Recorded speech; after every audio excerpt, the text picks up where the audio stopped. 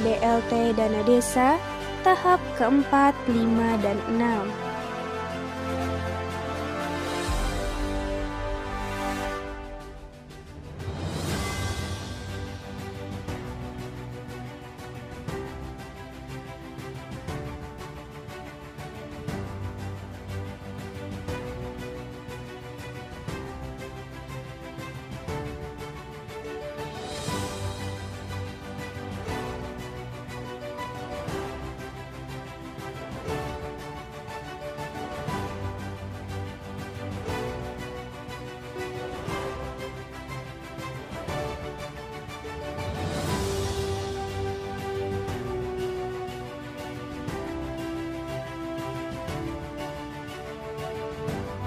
Dan berharap untuk masyarakat Sukamaju.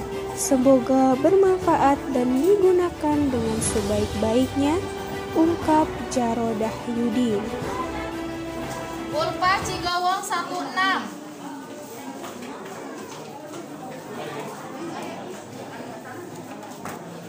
satu ini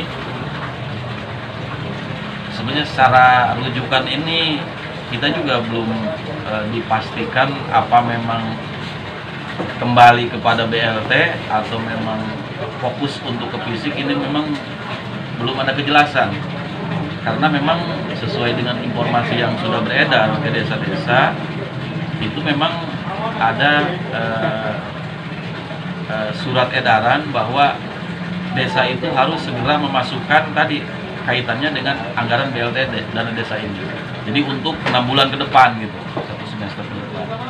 Tapi surat yang resmi yang memang e, dari Departemen Dalam Negeri termasuk dari Kementerian Desa ini e, termasuk dari Menteri Keuangan ya kita belum terima termasuk keputusan bupati lah yang jelas ya karena memang tadi ketika memang ada aturan dari pusat provinsi ini kaitannya bupati juga harus mengeluarkan aturan untuk tadi kaitannya dengan anggaran BLT dana desa ini. Jadi 2021 ini kita juga masih nunggu nunggu aturan yang memang eh, tadi lah yang sudah pasti gitu yang sudah jelas. Jadi kaitan dengan untuk pengadaan pembangunan fisik ini kemungkinan tadi kita nunggu eh, informasi surat yang datang dari dari pusat ke kita ya, untuk mengatur eh, penyaluran nanti termasuk mungkin ada nggak 2021 ini untuk BLT dana desa gitu, gitu. jadi eh, mungkin harapannya mudah-mudahan lah. Jadi kalau terus-terusan kita seperti ini ya eh, kapan kita bisa membangun gitu ya. Karena memang yang jelas Eh, di samping kemarin kita kena bencana, ada lagi wabah COVID-19 ini, ini memang desa agak kesulitan gitu.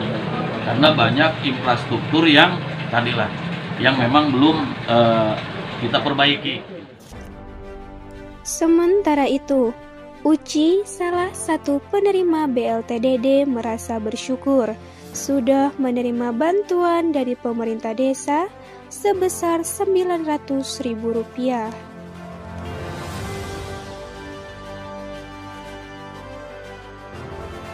BLT ya alhamdulillah lah saya senang gitu panas gitu. oh udah. Baru pertama ini 900 oke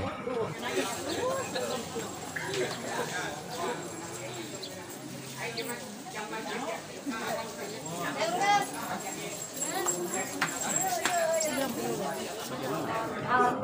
alhamdulillah sudah mendapatkan uang eh, 900. untuk seribu Assalamualaikum warahmatullahi wabarakatuh. Saya Bribka Ginanjar, selaku Babin Kamtibmas Desa Sukamaju, uh.